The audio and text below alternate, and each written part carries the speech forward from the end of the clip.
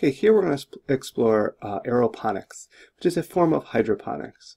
Uh, while it can take on many forms, I think utilizing the EZ-Clone cloning system is a great example of aeroponics, uh, because this is a true form and it is used for the cloning process, but this same form can be used to grow uh, plants for longer term than just cloning.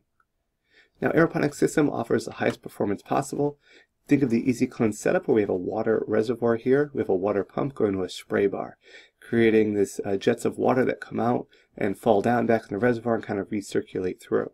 As a result, there's no growing media used at all. The plants are simply supported by this foam here, and in the cloning operation, there's no roots initially.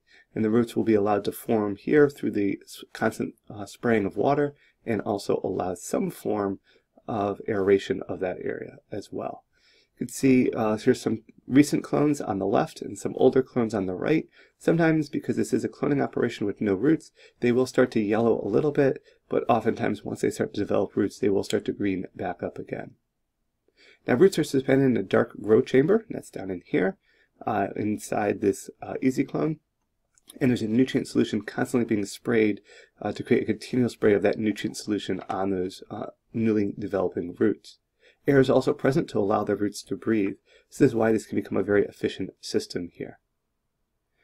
Uh, the downfall is that the root's growth can limit its ability to spray to come into contact with the growing roots. What does that mean? Well, as those roots become denser and clumped together, when there's initially just kind of one or two, there's a lot of area. However, as those become denser and start to grow, one can kind of reduce the spray contact of the other roots. Another downfall is if the pump fails, the entire system can be lost, so you are dependent on that um, water pump there.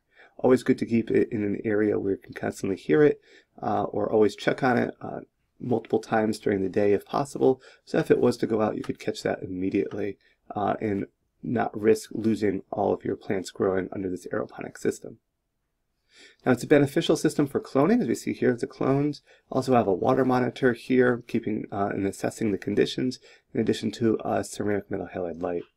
Now this is great for cloning, but often full season growth is not recommended, especially for large-scale production facilities.